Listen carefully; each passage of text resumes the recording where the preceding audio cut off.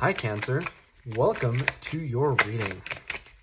If you're new to the channel, I do timeless readings, which means that whenever you find this video is when you're meant to hear the messages within it. And in case you subscribe, I upload my new videos for Cancer and Capricorn on Thursdays. But I do want to let you guys know, in case you're interested, the deck that I'm using today is called the Ludi Lescott Tarot. And as always, if you're interested in getting a personal reading, my information is in the description below. Also, just to give you guys a little bit of insight as to how I shuffle my cards, uh, sometimes the cards like to flip over in the deck. I do see them. However, I'm going to go ahead and take this card. Uh, however, I usually only take the cards that jump out of the deck. And sometimes when they jump out in groups that are too big, I'll go ahead and put them back in. But my main goal is to get you guys roughly eight or nine cards. So it looks like we have your eight cards. And now we can get started. All right, Cancer. So I do just want to give you guys uh, a little reminder that if you enjoy the reading, the best way to let me know is by leaving a like or a comment. But your overall energy here is the Two of Swords. Now, the Two of Swords is all about indecision, right? The Two of Swords is symbolic of an indecision, an impasse, or just some kind of a stalemate. So I'm thinking for a lot of you guys right now, things are very difficult in the sense that every situation that you, like every outcome that you can get out of this scenario has like a, a pro and a con list attached.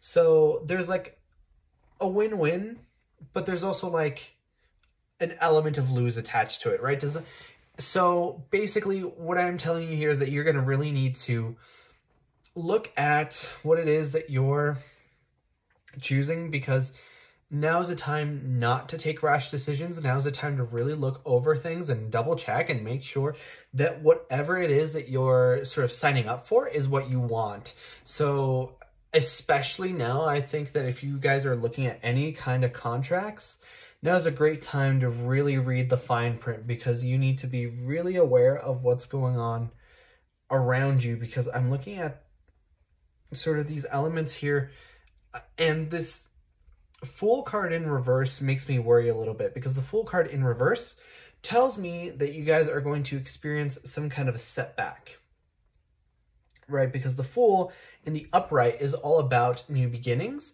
and fresh energy and things, you know, starting anew. So with that energy, I feel like there's going to be some kind of a setback, some kind of a delay.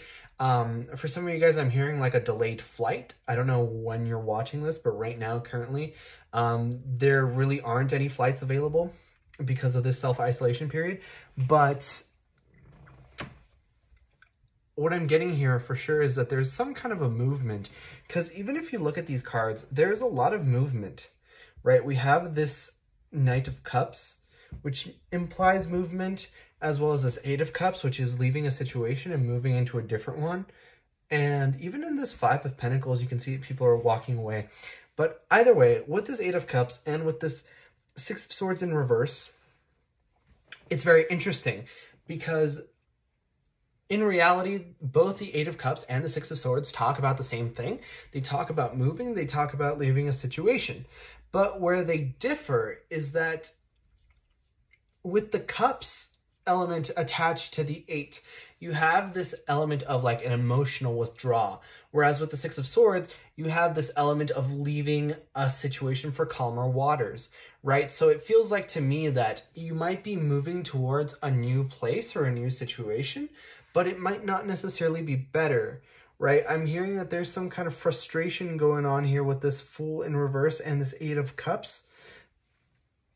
But with this Fool in reverse and the Six of Swords in reverse, I just, I don't know if it might actually be better for you to leave your situation right now.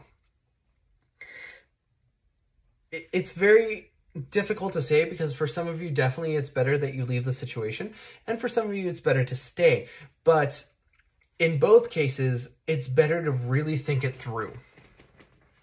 Also, I looked at the timer on the video just now, and it was at 444, so I'm, if I remember correctly, the number four has to do with stability, so for some of you guys, that might be very important, but I highly suggest that you do some of your own research on angel numbers and synchronicities, especially if you've been seeing synchronicities of your own that are different from that number.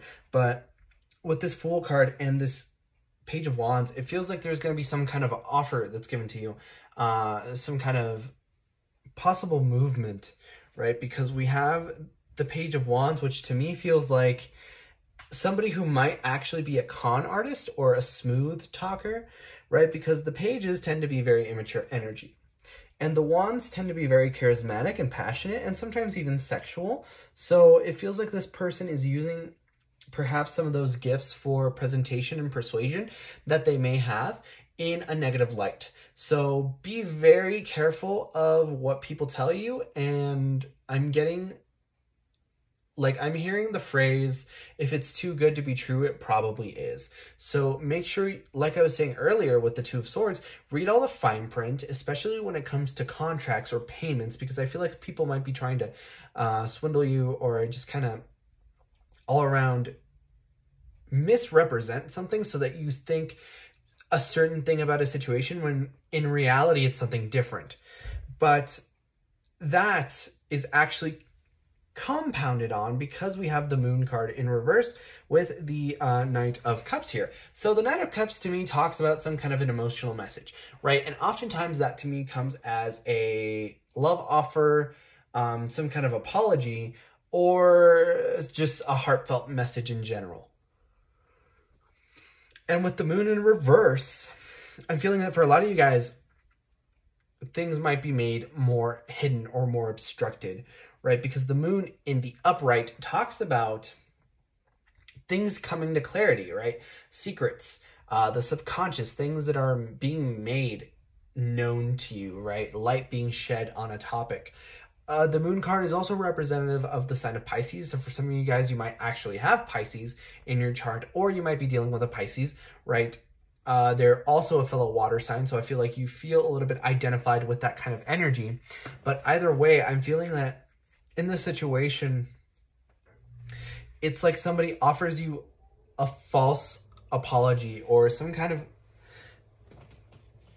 kind of like a band-aid to perhaps make the situation better when in reality it doesn't. I feel like somebody's really trying to come in and fix everything and kind of give you a snake oil, you know, a cure-all, when in reality, the things that you need to know are being avoided with this moon card in reverse because I feel like the truth is going to cause a lot of conflict and is going to rock the boat a little bit. And that's why it's this person, whoever this Nine of Cups is, is trying to kind of not let you know everything because they're afraid or worried that you might respond in a way that is very conflictive or uh, upset or reactionary in response to what they want to say, right? I'm getting it for some of you guys, this person might have done something that would make you mad at them. But I'm also seeing that the, for others of you, this person might be trying to cover up what somebody else did to you. And it feels very petty and it feels very like that's what she said, that he said, that she said kind of energy, right? So just like take it with a grain of salt, you know, try to hear it from the horse's mouth if you can, because I'm getting that there's going to be a lot of hearsay in your situation. And it, and it honestly just feels very petty and very gossipy. So a lot of you altogether, altogether might just say, I don't want to be involved in this like low vibrational energy and just move on, which I think is the best thing to do because it feels like once you kind of get involved into this energy, you're going to want to try to leave from it, but then it, it's going to like get its claws into you and it's going to drive you deeper and deeper down the rabbit hole. Uh, but it, just feels like you need to distance yourself from this energy in a way that is helpful to you. Because I'm getting that with this Fool card in reverse and with the Six of Swords in reverse, it might be very difficult to do just that, to leave the situation in a way that's helpful. Uh, some of you might be set aback if you leave the situation. So move forward in a way that's strategic and that is beneficial to you because I'm seeing the star card here with the four or sorry the five of pentacles. So i'm getting here that with the five of pentacles you're definitely leaving this energy of being left down the cold. And i feel like for some of you guys that might mean that you're becoming more independent um, perhaps from a partner or even financially.